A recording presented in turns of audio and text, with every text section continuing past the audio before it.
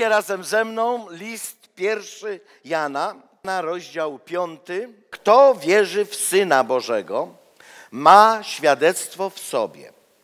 Kto nie wierzy w Boga, uczynił go kłamcą, gdyż nie uwierzył świadectwu, które Bóg złożył o Synu swoim. A takie jest to świadectwo, że żywot wieczny dał nam Bóg, a żywot ten jest w Synu Jego. Kto ma Syna, ma żywot. Kto nie ma Syna Bożego, nie ma żywota. To napisałem wam, którzy wierzycie w imię Syna Bożego, abyście wiedzieli, że macie żywot wieczny. Drodzy, w naszym życiu potrzebujemy i informacji, i jako chrześcijanie potrzebujemy o pewnych rzeczach wiedzieć. Dlatego spotykamy się na grupach domowych, na jakichś studiach, mm, studium Słowa Bożego, gdzie może mniej jest emocji, ale musimy zaangażować swój umysł i być oczywiście i sercem otwartym. Ale gdybyśmy pozostali tylko na samej informacji, to w którymś momencie byśmy zesztywnieli, czyli stali, stali, stalibyśmy się bardzo obojętni i chłodni. Potrzebujemy inspiracji. A więc potrzebujemy tego, co mieści się gdzieś z obszaru naszych emocji. A więc coś, co nas pobudza, podnosi, gdzie wypowiadamy później, było fajnie, czułem się dobrze. A więc poznanie, czyli wiedza, i doznanie, coś, co porusza nasze emocje, bo tak jesteśmy stworzeni. A więc potrzebujemy poznania, potrzebujemy informacji, potrzebujemy inspiracji, aby następowała transformacja, przemiana. Bo wiem, w którymś momencie, jutro, po południu, rozjedziemy się i jak bywa niejednokrotnie, ludzie, osoby, które wracają, mówią i, pytamy się, jak było na spotkaniu albo jak było na konferencji. Wspaniale, było fajnie, przeżyłem. Ale spotkamy, spotykamy tę samą osobę już koło środy, już widzimy, że coś się rano wydarzyło. Coś jest większego, co wię, niż te przeżycie z soboty czy z niedzieli. Więc dziś przez chwilę czasu będę mówił na temat, jak utrzymać, by informacja plus inspiracja tworzyła coś z nas trwałego. Żeby to nie był domek z kart, żeby to nie było coś, co stryk i za chwilę się rozsypie. Oto czytaliśmy słowo z, z, z listu Jana. Podobne myśli mamy w wielu innych miejscach, gdzie zauważcie, że Jan pisze do chrześcijan, pisze do ludzi, którzy nazywali siebie wierzącymi, a jednak mówi: Chcę, abyście wiedzieli. Jesteśmy tak stworzeni, że bez jakiejś teologicznej czy jakiejś głębszej analizy jest, jesteśmy tak stworzeni, że składamy się jakby z trzech elementów. Jest część ta duchowa, duch, dusza i ciało. Ale więc jest coś, co widzimy, widzicie mnie i ja widzę was. To jest nasze ciało, nasza fizyka, nasza fizjologia. Ale w tym momencie, kiedy ja mówię na przykład, to nawet kiedy nie poruszacie ust, to wy rozmawiacie ze mną, rozmawiacie ze słuchaczem. Działa sfera duszy, a więc nasze myśli, nasze emocje i to jest bardzo ważny element. A więc ciało, to, to co widać, i jest kolejna sfera, bardzo ważna, sfera emocji. Tu, gdzie czujemy, odczu mamy własne odczucia, nasza wrażliwość porusza się, reagujemy gdzieś wewnętrznie, i mówimy, że coś jest miłe, czy coś mniej miłe. I jest ta sfera ducha, w której zamieszkuje Duch Boży i Duch Boga w tym się porusza. Oto Paweł, oto Jan pisze, chcę, abyście wiedzieli. A więc oprócz tego, że ty czujesz, oprócz tego, że ty czy ja możemy dziś być poruszeni, czy jesteśmy poruszani, abyśmy wychodząc z tego miejsca po prostu wiedzieli. Wiem, kim jestem. Wiem, skąd pochodzę. Wiem, kim jestem. Wiem, kim się stałem i wiem, dokąd idę. To Jezus demonstrował i mówił w Ewangeliach, zwłaszcza w, Ewangeliach, w Ewangelii Jana. A więc znał dokładnie tożsamość swoją. A więc nie był to ktoś, kto powiedziano to, poszedł w tamto. Pójdziesz i spotkasz się z towarzystwem czy ze znajomymi jutro czy pojutrze i pójdziesz znowu w tamtą stronę. Musisz wiedzieć, co to znaczy przyjąć Pana Jezusa do swojego serca. Napisałem, abyście wiedzieli. Abyście wiedzieli. Jan pisze, że abyście wiedzieli, kiedy w nocy cię przebudzi ktoś, to gdybyś ktoś się zapytał, kim jesteś, to żeby ci wyskoczyło, jestem dzieckiem Boga, należę do Chrystusa, moje imię jest zapisane w Księdze, Życie, w Księdze Życia Wiecznego. Aby to było pierwsze niż to Kowalski, Mirosław Zabłocki. Abyś miał świadomość nowego życia przede wszystkim.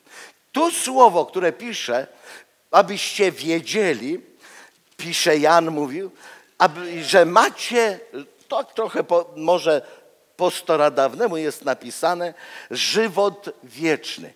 Abyście wiedzieli, że macie życie Boże.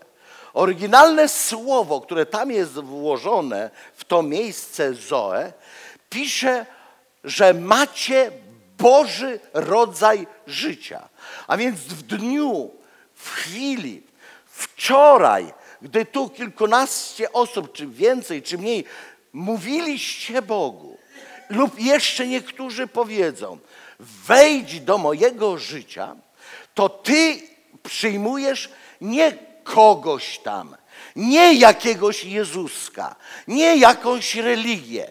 Ty otworzyłeś się lub jeśli zrobiłeś, przyjąłeś Jezusa jako Boży rodzaj życia.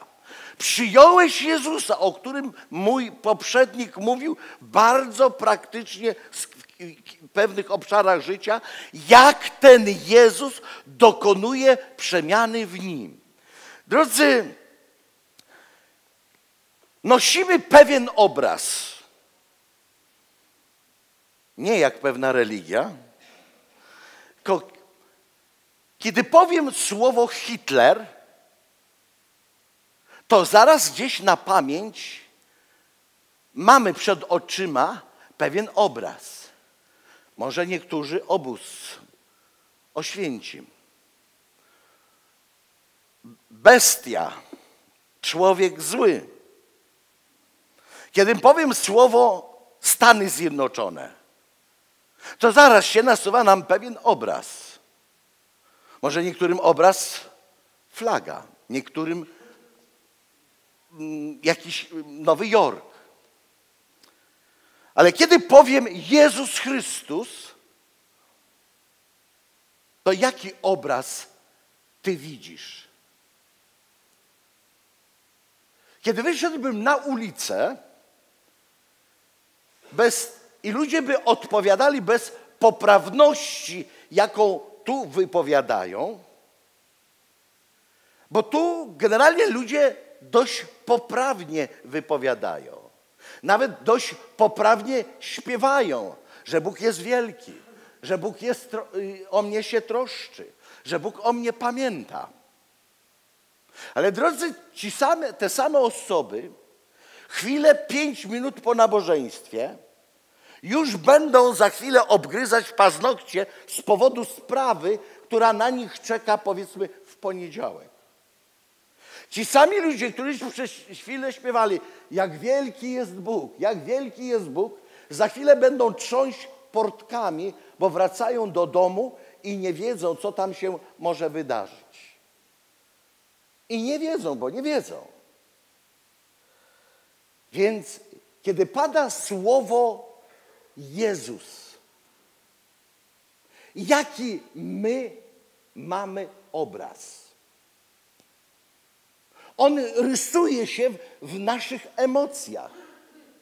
On rysuje się w naszym obszarze duszy. A więc nie da się oddzielić od naszego ciała tego obrazu naszych emocji. Ale Biblia też nas chroni, abyśmy za mocno nie poszli w emocje i w, ten, w te chodzenie emocjami, ale byśmy o pewnych rzeczach po prostu wiedzieli. Będę, kiedy będę mówił w którymś tam z wykładów o Słowie Bożym, to powtórzę, być może to już powiedziałem, że to Słowo jest wyżej niż moje myśli, niż moje emocje. Ono jest ważniejsze, to co mówi Bóg, niż to, co ty w tej chwili się odczuwasz, lub za chwilę powiesz, czy jutro powiesz, a ja już tak się nie czuję. Jan pisze, abyś wiedział, że kiedy otworzyłem swoje serce na Chrystusa, kiedy ja otworzyłem serce na, dla Boga i modliłem się o to, to misjonarz nawet mnie nie raczył zaprosić do przodu, tylko żebyśmy podnieśli ręce. Nawet misjonarz nie położył na nas swoje ręki. Więc powiedziałem to, co on prosił, sercem zjednoczyłem się z tym i szczerze powiedziałem. I drodzy, i kiedy otwierałem swoje serce dla Boga i dla Pana Jezusa, nie czułem, żeby jakiś kamień spadł z moich pleców. Co chcę przez to powiedzieć? Niektórzy czują, niektórzy podskoczą, a niektórzy będą tak jak ja. Ale wiem, że zrobiłem to, co zrobiłem. Zrobiłem na podstawie słowa Boga. Okazałem wiarę i posłuszeństwo temu słowu i zrobiłem to szczerze. I dwa tygodnie później diabeł spróbował mnie w tej sferze zaatakować czy to na pewno dobrze zrobiłeś. Zobacz, czy ty, przecież ty już tak tego nie czujesz. Ale wtedy zrobiłem coś takiego, wziąłem to Biblię i powiedziałem tym głosom, tym myślom, położyłem rękę na Bożym Słowie, że uczyniłem to na podstawie Słowa Twojego, Panie, i wierzę, że jesteś w moim sercu. Czy ja wtedy odczuwałem tak, jak wtedy, kiedy była atmosfera, kiedy było 100 osób, kiedy śpiewacy grają, gotowy obiadek nam poddają, wszyscy się uśmiechają, bracie, siostro, i kawa, i herbata. Tego już nie było, ale wiedziałem, że Jezus jest w moim życiu. Zoe to jest życie Boga. Przechodzimy jakby do kolejnego punktu. Przyjąłem nie jakiegoś Jezusa, nie, przyjąłem życie Boga, nową jakość Boga, nowy rodzaj życia. Oto, kiedy byliśmy nienawróceni, kiedy świadomie nie odpowiedzieliśmy na Boże zaproszenie, mamy paszport. Jest to dowód, paszport życia tu na ziemi. I są tu zasady, według których my funkcjonujemy. Kiedy Biblia mówi świat, posłuchajcie, ludzie Kościoła, to Biblia nie mówi o długich czy krótkich włosach. Kiedy Biblia mówi świat, wcale nie mówi o browarze, czy grillu, czy imprezie. Kiedy Biblia mówi świat, wcale nie mówi o długości sukienki. Mówi o wielu różnych innych rzekach, rzeczach. Mówi o długości jęzora, Twojej mowy. Mówi tak, także i o tamtych rzeczach, ale mówi o Twoim myśleniu. Ale generalnie słowo świat mówi o systemie, w jaki sposób funkcjonuje rzeczywistość, która jest wokół nas. I ta rzeczywistość, sposób życia człowieka, on się zależnie od czasów, wiek, pokoleń i wieków, on się zmienia. Ale w istocie grzech i potrzeby człowieka pozostają takie same. One się zmieniają w wyglądzie. I świat i ty, nim przyjąłeś Jezusa, a jeśli nie, funkcjonujesz mając jeden paszport.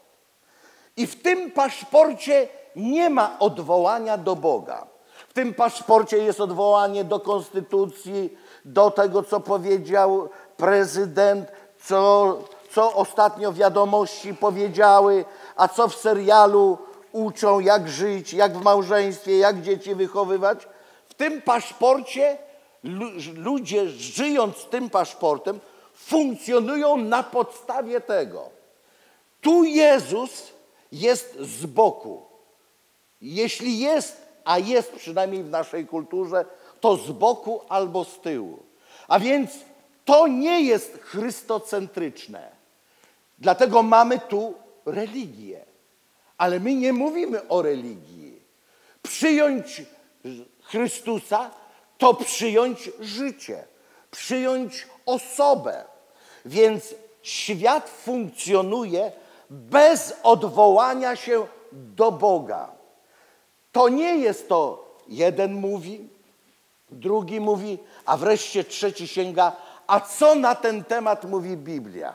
A Biblia mówi tak, więc nie tak, nie tak, tylko tak.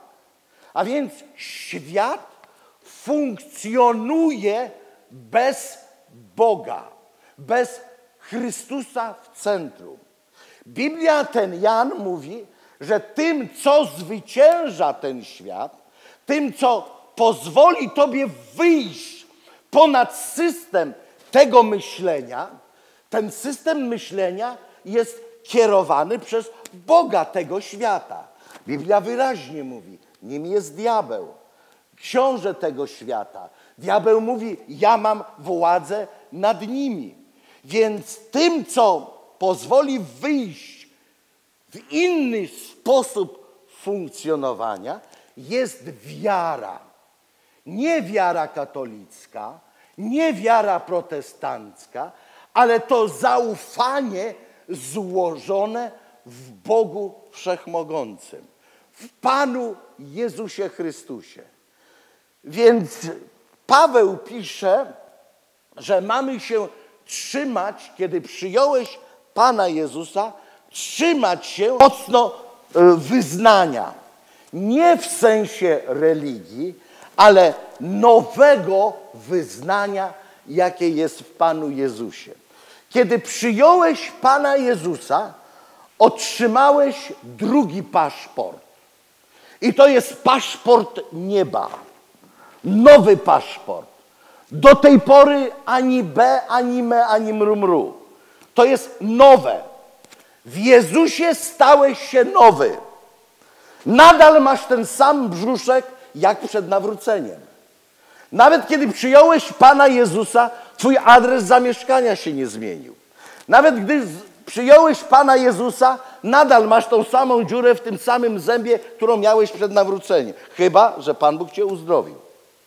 Ale w duchu stajesz się nowy. Czyli od momentu przyjęcia Pana Jezusa stałeś się obywatelem podwójnego, jesteś człowiekiem podwójnego jakby obywatelstwa. Stałeś się człowiekiem jakby podwójnego obywatelstwa. O, trochę namieszałeś nam. Ale nie myślę, że. Bo to jest, to jest coś bardzo y, jakby inspirującego, by rozumieć duchowe życie. Bowiem możesz być pod wrażeniem osób tylko tych. Chwała, halleluja, Pan jest wielki. O, żadnych problemów, żadnych kłopotów. Jak przyjąłem Jezusa, żadnych kłopotów, żadnej choroby, żadnych długów. Kredyty się wyrównały. Wierzę, że i kredyty się wyrównują. Wierzę, widziałem świadectwa ludzi, których, których wyroki zostały skrócone. Widziałem ludzi, których zęby zostały uzdrowione. Modliłem się o ludzi i byłem świadkiem, kiedy Bóg usuwał guzy, tarczycy i tak dalej. Ale co będzie, kiedy wrócisz w poniedziałek do domu i wrócisz i jesteś w tym samym ciele i na biurku twoim leży biała koperta, dwie, a może trzy, z czerwoną pieczątką. A to jest jedna z ZUS-u, druga z sądu, a trzecia z urzędu podatkowego. Bracie, módl się. To chcę wam sprowadzić i nauczymy tu duchowego życia w tym życiu. Nie uczymy, jak zwinąć manatki. O, jakbym chciał być szybko już u Pana. Czasem tak Pan czyni, ale czasem Pan chce nauczyć nas, jak żyć tu na ziemi Bożym życiem. Jak niebo sprowadzić tu na ziemię. Jak mieć wejrzenie w to duchowe i żyć tutaj. Więc pomiędzy jednym a drugim, pomiędzy tym, co słyszysz, tym, co się stało w tobie i pomiędzy tym starym ciałem. Bo to miałem na myśli, mówiąc o tym brzuszku, o tym adresie, o Twojej pracy, że pewne rzeczy pozostają. Jak żyć Bożym rodzajem życia tu na ziemi? Jak by Jego królestwo realizowało się kiedy cierpisz choroba, kiedy twoje dziecko, kiedy, kiedy niezrozumienie w pracy. Jak zrozumieć, kiedy modlisz się o pracę lepszą, to zamiast lepszej, to i tracisz tą, którą masz. Jak żyć? Oto między jednym i drugim jakby toczy się walka, toczy się bitwa. Biblia mówi, czy Y, bardziej duchowi kaznodzieje, walka duchowa. I czasem niektórzy sprowadzają to do bardzo głośnego krzyczenia. I czasem ja głośno krzyczę. I czasem mówię, wynoś się w imieniu Jezusa. Nie wiem, drodzy, jaki obraz my nosimy w sobie Pana Jezusa. Drodzy, w wielu kościołach w naszej kulturze, zwłaszcza, zwłaszcza polskiej, widzimy różne dosłownie i, w, i przenośnie obrazy Pana Jezusa. Widzimy Jezusa i namalowanego, i wyrzeźbionego. Drodzy, ale chcę wam powiedzieć, że gdybym ja był diabłem i wszedł i zobaczył takiego Jezusa, taki obraz, to ja bym się jego nie przestraszył.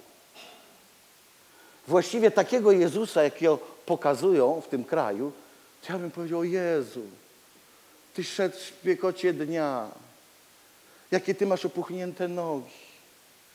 Jezu, to, to, to Boże Święty, to, to zło, złożymy Ci trochę złota. Jezu, trzeba Ci przetrzeć łzy. Troszkę, drodzy, ironizuje, ale pokazuje, że takiego Jezusa diabeł się nie boi ani święconej wody, ani takiego Pana Jezusa. Drodzy, to, co się wydarzyło w naszym życiu, nawet przy bardzo skromnym, skromnej manifestacji, ale szczere i prawdziwe, jak powiedziałem o sobie. Czy może było to z wielkim wzruszeniem, ze łzami? to akurat nie jest ważne. Ale jeżeli to zrobiłeś szczerze, jeśli to zrobisz szczerze, to ty i ja przyjmujemy życie Boga. Po pierwsze, życie Boga jest wieczne. więc przyjmuję wieczny rodzaj życia. Przyjmuję, jeśli Bóg jest dobry i przyjąłem Boży rodzaj życia, to przyjąłem niewyczerpane źródło dobra. Jeśli Bóg jest Bogiem nadziei, to przy, w moim sercu pulsuje, aż wykapuje źródło nadziei. Kiedy patrzymy się na Ewangelię i widzimy Jezusa w przeróżnych okolicznościach życia, jest to dla nas obraz, mimo że był synem Boga, ale i, i jednocześnie synem ludzkim. To Jezus reprezentował i pokazywał, jak przechodzić, jak być, jak przejść różne okoliczności naszego życia. Drodzy, Jezus w Tobie, Jezus we mnie. Mam wrażenie, że czasem również chrześcijanie, ci, którzy rozpoczęli i szczerze oddali swoje życie Bogu, gdzieś ten obraz Chrystusa, który z nich wystaje, jest coraz mniejszy. Kiedyś pewien chłopiec słuchał misjonarza i ten misjonarz mówił o, jak i ja, o wielkim, o mocarnym, o potężnym Bogu. A później mówi, kto chce przyjąć Pana Jezusa. Ileś osób odpowiedziało, modliło się, a później on po spotkaniu podszedł do misjonarza. Misjonarzu, ale jak ja przyjmę takiego wielkiego Jezusa, to on będzie ze mnie wystawał. I misjonarz zrozumiał tą cenną lekcję. Tak, mój młody bracie, o to chodzi, żebyś z siebie wystawał Pan Jezus Chrystus. Abyś Ty był nosicielem tego zapachu Chrystusowego. Abyś z siebie to emanowało. Aby Twoja twarz, bo przecież w Tobie jest Bóg pokoju. Aby twoje, twoje usta, oczy były pełne nadziei i optymizmu. Bo przecież wokół nas tyle jest zgryzoty, tyle jest cierpienia. Jako lekarz każdego dnia Pan Bóg mi daje, a może dlatego, że się o to modlę, żeby dzielić się z ludźmi Ewangelią. Ale wiecie, nie zawsze jest to, że biorę Ewangelię jak karabin maszynowy, by poszczelać sobie do kogoś. Wcale nie zamierzam uprawiać dżuda umysłowego, czy to było o tej godzinie, czy o tamtej godzinie. Ale przez imię Jezusa, przez to życie, które jest we mnie, kiedy mówię i będziesz mówił o dobroci Boga, o Bogu, który i tak wie, co wie, Jego oczy, które są pełne światła, przepatrują i znają życie Twoje i każdego człowieka i tego, który stoi przed Tobą, który jest Twoim rozmówcą. Ale kiedy okazujesz łaskę i miłosierdzie, oto Jezus mówił do pewnej grupy ludzi. Mówi, wy znacie Pisma, znacie i wiecie, ale nie poznaliście mnie. Wiecie? Można wiedzieć o Bogu, ale nie znać tej głębi natury charakteru Boga. Drodzy bracia, siostry, drodzy przyjaciele, w Tobie i we mnie jest walka tych obrazów. Które życie będzie, weźmie górę. Do tej pory żyliśmy, czy żyjesz jeszcze według tego. I to jest paszport na życie tu. Ale Bóg chce Ciebie nauczyć, żebyś zaczął żyć tym nowym życiem. Od momentu, kiedy przyjąłeś Pana Jezusa do serca, prawdziwym Twoim paszportem jest ten. No ale jak? To przecież ja widzę siebie, ja widzę swoje ciało. Ale i rzeczywiście tak funkcjonujemy w to, co widzimy i poruszamy się w obszarze tych zmysłów smaku, węchu, dotyku, czy to możliwe, żeby chodzić po wodzie? Ten paszport mówi nie. Czy to jest możliwe, żeby przez tych parę bochenków nakarmić, taki tłum? No niemożliwe. Przez ten paszport ludzie mówią, nie, no przecież to już sklepy są zamknięte. Przez ten paszport ktoś mówi, nie, ta węglizacja nie wyjdzie, szkoda na to czasu, pieniędzy, zdrowia. A po co tam jechać do tej dziury zabitej dechami i, i, i jeszcze śpiewać z gitarą? Kilku starych przyjdzie. Ten paszport tak mówi. Ludzie tego paszportu tak mówią. Ja powiedziałem tylko z obszaru chrześcijaństwa. Ludzie z tego paszportu inaczej myślą, funkcjonują. Z jednej strony są w kościele, a później za kościołem obmawiają swojego kapłana, swojego lidera duchowego i to, co się tam wydarza. Ludzie żyją w obszarze tegoż zmysłu, co widać, co słuchać, co się dzieje. Od momentu, kiedy przyjąłeś Pana Jezusa, masz dostęp, wejrzenie i to się nazywa nowa droga. Nowa, pisze Paweł, żywa droga do życia według tego nowego. Więc tego musimy się uczyć. Musimy przechylać szale, czym bardziej będę żył. To będzie mówić, to się nie da. A tu będzie mówił, wszystko jest możliwe dla wierzącego. Ty, stary, co ty tutaj przesadzasz? A ten pasztor będzie mówił, jestem nowy. Gdzie ty? Jakie niebo? Jesteś pewny? A tu czytasz, że twoje imię zostało zapisane w Księdze Życia Wiecznego. A obecne moje życie w ciele jest życiem w Jezusa Chrystusa. Jest w wierze w życiem Jezusa Chrystusa. Wszystko w Nim mogę. Jestem zwycięzcą, nawet jeśli okoliczności tak wyglądają. W Nim żyję, w Nim oddycham, w Nim poruszam się. Jestem własnością Boga. Pan jest moim pasterzem. On choćby nawet przed doliną. Tak, to prawda. Są rachunki, są długi, jeszcze jest przeszłość, ale On jest ze mną. On mnie prowadzi. Jedno z Jego imion, Bóg, który zaopatruje. Kiedy my mówimy, czasem mamy wrażenie, że kiedy mówimy Panie Boże, to wtedy Pan Bóg słucha i bierze się do roboty. Dobra, bo Janek mi powiedział, ojejku, coś tam się dzieje, o więc muszę się wziąć do roboty. Biblia mówi, że to, co potrzebujesz do życia, tego chrześcijańskiego i codziennego, już w Bogu masz to przygotowane. Ale to troszkę szkoła dalsza wiary, że w Bogu mamy to przygotowane. Drodzy, Jezus w Tobie, Jezus we mnie. Kiedyś słuchałem pewnego, e, więc przytoczę tę historię. Oto trochę to tak rozbudowana na użytek tego przekazu. Oto pewien młody człowiek zapukał Pan Jezus do jego domu.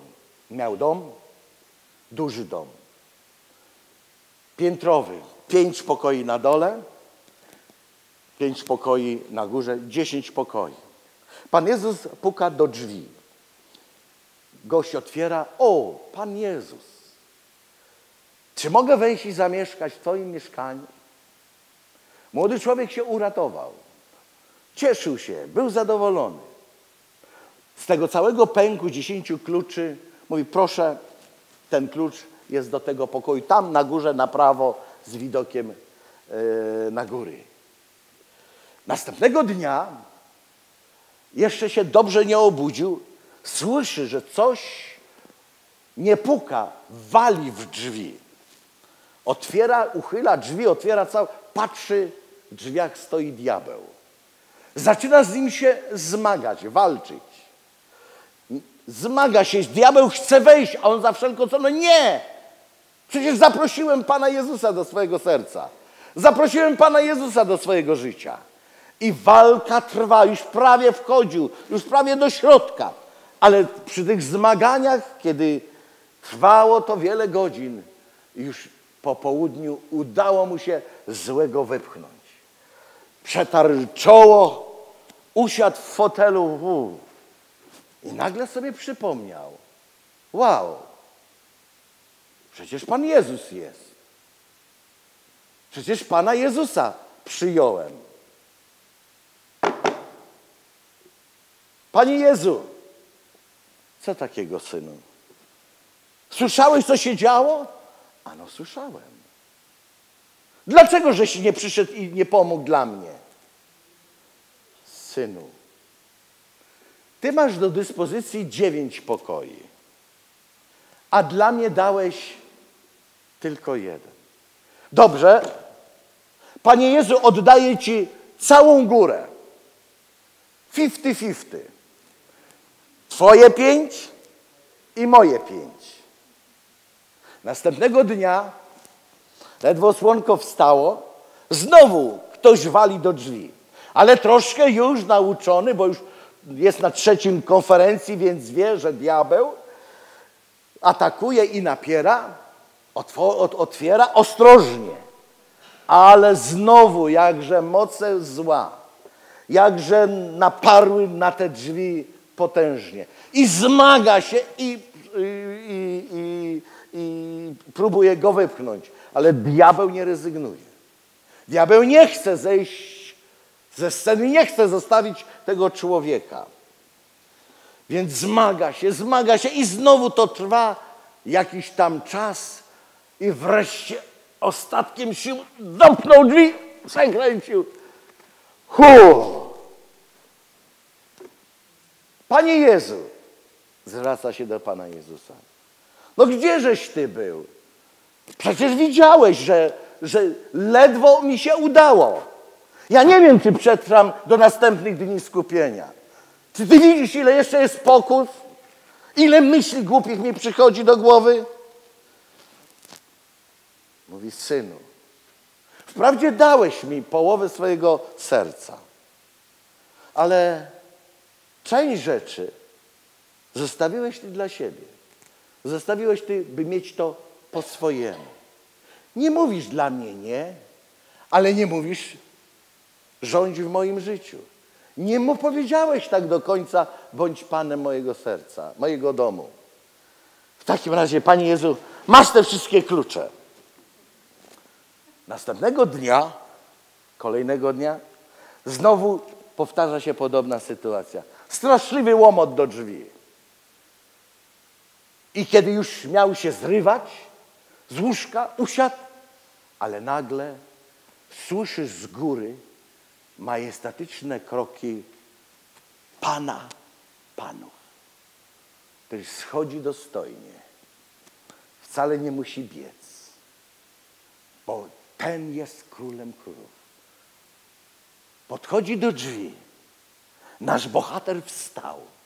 Stanął tuż za Panem Jezusem. Nie z przed nim, nie z boku. Stanął za nim. Jak w tej wizji, jaką miał profesor, o której opowiadał Ryszard. Stanął za nim, co się będzie działo. Pan Jezus podszedł, wziął jeden z kluczy i odchy- o, przekręcił. Drzwi zaczęły się otwierać, a w drzwiach stoi diabeł. I nagle diabeł pochylił się, mówi: Przepraszam, pomyliłem drzwi. To nie ten dom. Drodzy, w naszym życiu pewnie nie raz przechodzisz i będziesz przechodził różnego rodzaju napory. Ale są też drzwi, pokoje Twojego serca, których trzymasz swoją prywatność. Są rzeczy, o których może nawet nie wie żona, może nawet nie wie mąż. Może nawet, już nie, nie, nie mówię, że inni o tym nie wiedzą. Ale otworzyć serce dla Boga, by doświadczać coraz więcej pełności tego życia, tego życia nadnaturalnego. Ponieważ tu działają zmysły, co widzę, co słyszę, co czuję, co dotykam. Tu działa jeden główny zmysł. Zmysł wiary. Wiary, która nie jest mgłą. Wiary, która nie jest budyniem. Wiary to nie coś, co nie. Wiara jest pewnością. Jest tym niewidzialnym ramieniem, które sięga do Bożej rzeczywistości. To nie znaczy, że jeżeli tego nie widzisz, to tego nie ma. Jezus, kiedy poszedł z kilkoma chłopcami i na pewną górkę i na chwilę oni ujrzeli niebo, to duchowa rzeczywistość nie była hen, hen, no Bóg to wie, gdzie to jest. Była tuż. I Jezus jest tuż.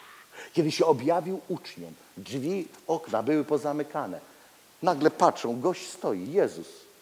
A później rozmawia i później i jego nie ma. Jezus jest tu.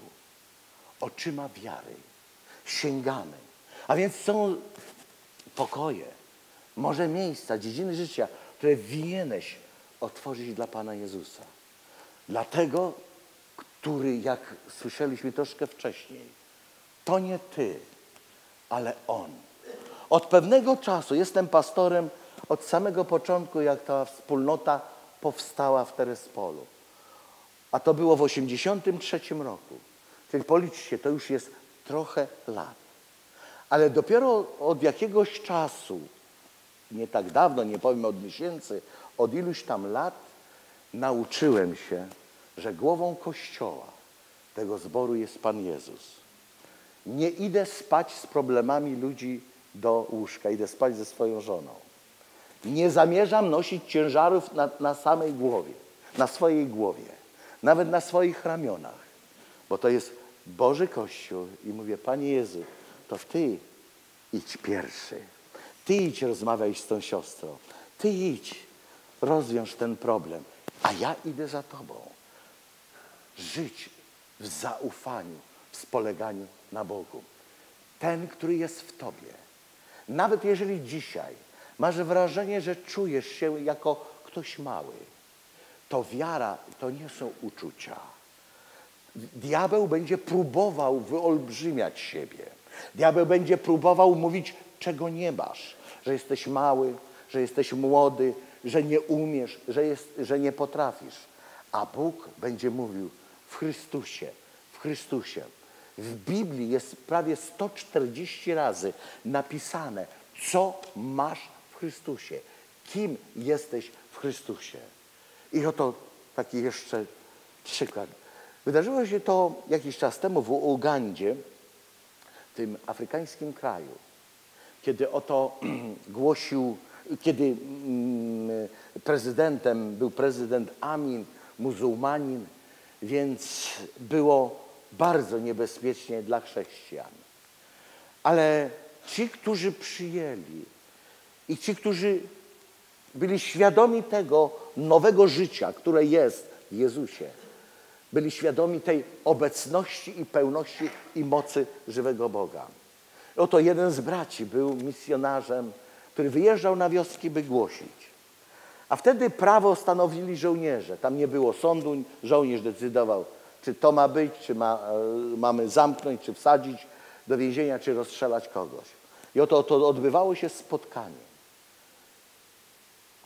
Głosił słowo. Pojawiła się grupa żołnierzy. Jeden z nich wykrzyknął: Przestań głosić. Misjonarz nie przestał. Mówi, bo cię zastrzelę na oczach i uszach obecnych tutaj. Misjonarz dalej głosi. Wyciągnął broń, zarepetował, więc było to słychać i był gotowy do strzału. Skończ, bo cię zastrzelę. Wyciągnął pistolet i pociągnął za spust. Pistolet nie wystrzelił. Wziął jeszcze raz, coś tam poruszał, pochuchał, podmuchał, znowu raz, ponieważ napięcie zaczęło rosnąć wśród całego zgromadzenia. Misjonarz mówi, kim jest Jezus? Jaki jest Jezus? Znowu drugi raz. Zacięło się. Spróbował trzeci raz. Zacięło się. Zarepetował, strzelił do góry, pociągnął za spust, Pistolet zadziałał. Znowu nie zadziałał. Wziął od swego kolegi, dawaj. Otworzył jego kaburę i wyciągnął znowu kolejny pistolet z tego drugiego. Wyciągnął, próbował strzelić i pistolet nie zadziałał. Wszyscy żołnierze w tym samym momencie nawrócili się, otworzyli serce dla Pana Jezusa. Wielki Pan Jezus. Bóg, który jest w Tobie Życie, które Ty masz, jest to nowa jakość życia. Jest to nowy sposób myślenia, nowe zasady, inne niż zasady tego świata. Dlatego dzisiaj zachęcamy Cię, żebyś w szczerości swojego serca, jeśli nie przyjąłeś Pana Jezusa, to przyjdź